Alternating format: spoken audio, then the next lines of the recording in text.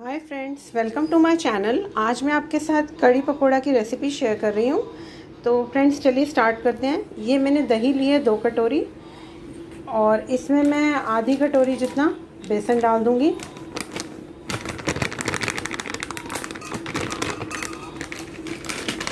अब हम इसको अच्छे तरीके से दोनों को फेंट लेंगे। और साथ में ही मैंने फ्रेंड्स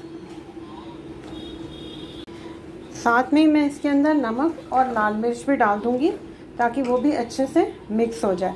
लेकिन फ्रेंड्स अगर हम नमक अभी डालेंगे तो हमें इस दही और बेसन के मिक्सचर को बहुत अच्छे से फेंटना है, नहीं तो कड़ी गैस पे जाते ही फट जाएगी। नमक, लाल मिर्च डालने के साथ साथ ही मैंने इसमें कद्दूकस की हुई अदरक और एक हरी मिर्च भी डाल दिया अब मैं इसको बहुत अच्छे से पाँच मिनट लगा के फेंटूँगी। ये देखिए फ्रेंड्स, मैंने इसको विस्कर के साथ पाँच मिनट लगा के अच्छे से फेंट लिया है। अब इसके अंदर कोई भी मतलब फुटकी नहीं है।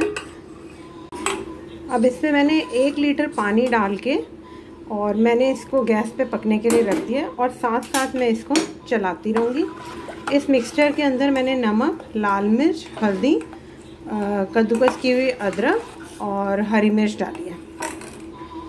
ये देखिए फ्रेंड्स कड़ी को बॉयल आ गया है। अब मैं इसको अभी तक तो मैंने इसको हाई मीडियम पे रखा हुआ था और साथ साथ मैंने इसको चलाती रही थी। अब मैं इसको लो मीडियम फ्लेम पे कर दूँगी ताकि कड़ी पकती रहे। जब तक फ्रेंड्स ये कड़ी पक रही है तब तक हम पकोड़ों की तैयारी कर लेते हैं। ये मैंने आ, कुछ पत्ते पालक के लिए हैं दो छोटे प्याज हैं थोड़ी सी कद्दू की कद्दूकस की हुई अदरक है। अब मैं इसमें बेसन डाल के नमक लाल मिर्च डाल के इसको मिक्स कर लेती हूँ।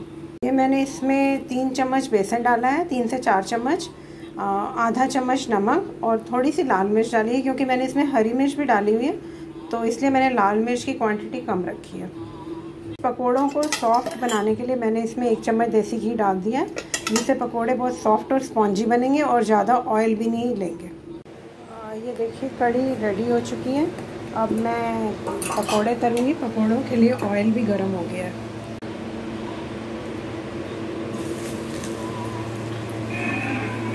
और साथ ही, केंद्र सरकार की योजना को लेकर युवाओं में काफ़ी ज़्यादा अप्रोच है, जिसके चलते लगातार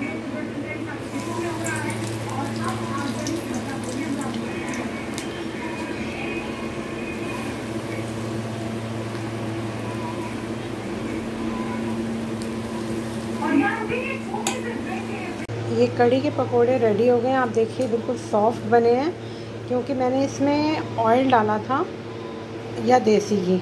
तो ये अपनी चॉइस है, आप जो डालना चाहें, इस और अच्छी तरीके से मिक्स कर लें तो पकोड़े एकदम सॉफ्ट बनेंगे। अब हम कड़ी का तड़का लगाते हैं। सबसे पहले मैं इसमें डालूँगी मेथी दाना। ये अच्छे से पक जाए।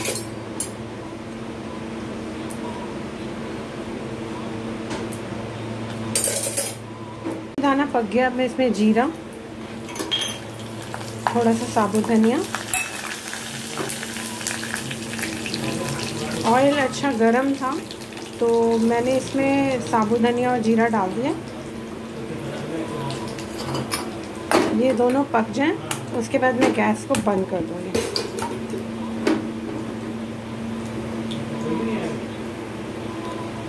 ये पक गया है। अब गैस को ऑफ़ करके मैं इसमें ये देगी मिर्च ये फ्रेश साबुत लाल मिर्च है